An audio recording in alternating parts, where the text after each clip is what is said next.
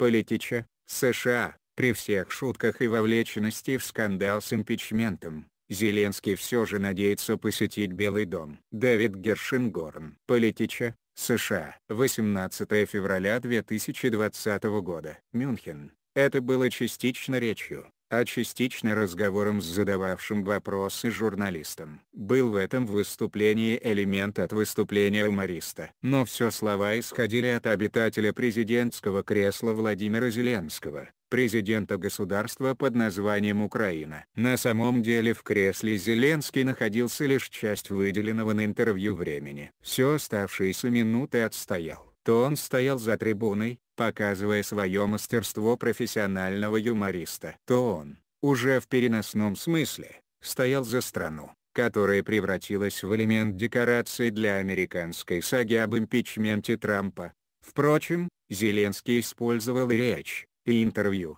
которые у него взяли во время конференции по безопасности в Мюнхене.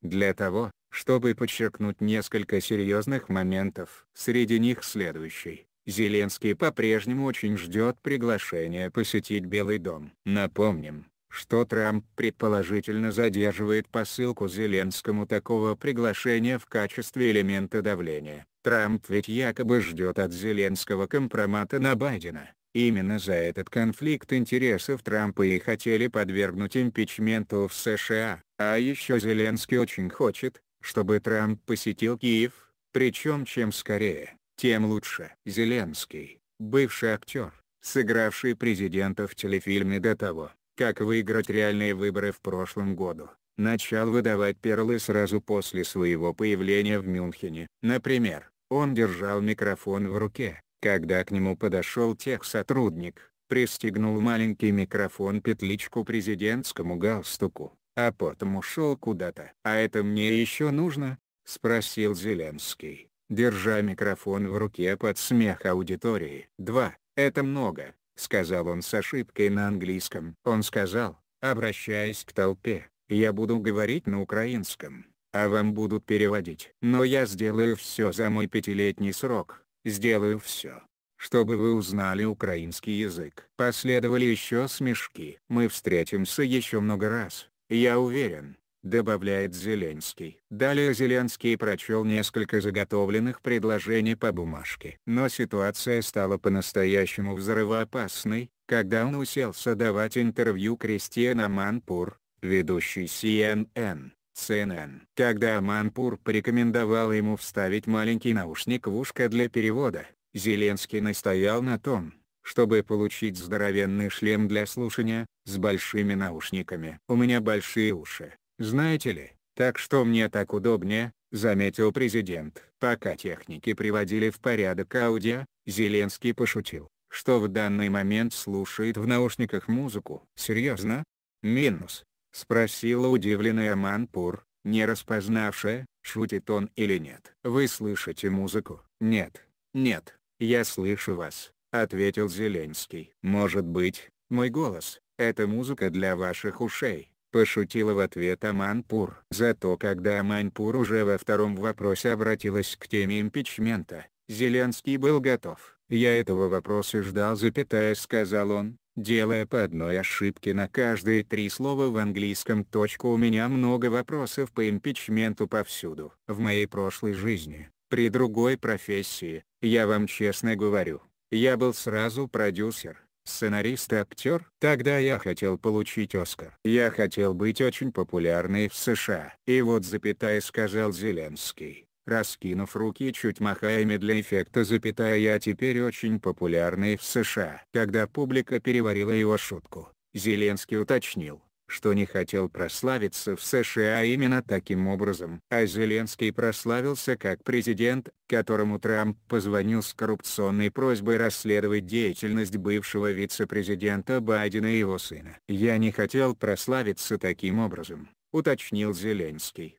«Но, знаете, если это поможет Украине, я готов к следующему звонку от господина Трампа. Вскоре, однако, Зеленский вырулил на тему того, что отношения Украины с США отличные, а он ждет от Вашингтона дополнительной поддержки. Я хочу поблагодарить всех вас, парней и девчонок, всех вообще, а также президента США, обычных американцев, и их прежде всего, за поддержку, за помощь Украине, особенно сейчас, когда у нас война запятая сказал Зеленский.